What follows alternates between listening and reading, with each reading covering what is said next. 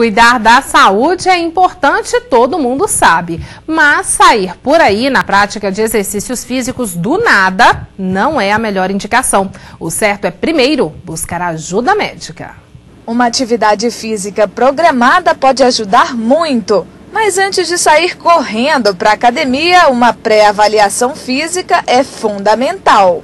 É importante fazer uma avaliação cardiovascular, porque existe uma série de doenças que podem estar inaparentes, estar assintomáticas, e que no momento em que a pessoa inicia um, um treinamento, uma atividade física regular, essas doenças podem ter alguma apresentação clínica, alguma manifestação clínica. Além dos benefícios para a saúde, quem passa por esse procedimento também sai na frente na obtenção de resultados estéticos. Através dessa avaliação, a gente monta o treinamento do aluno é, para ele obter mais resultados.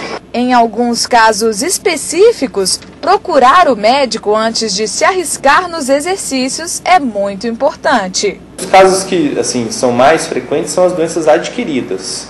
As pessoas que ao longo da vida desenvolvem patologias. Com os cuidados em dia, o fato é que uma atividade física sempre cai bem. E isso vai trazer benefícios de controle de pressão arterial, de redução de risco de desenvolver hipertensão arterial, vai trazer benefício em controle de colesterol, benefício em controle de glicemia do diabético e uma série de outras é, é, variáveis que estão relacionadas com a melhora do condicionamento cardiovascular.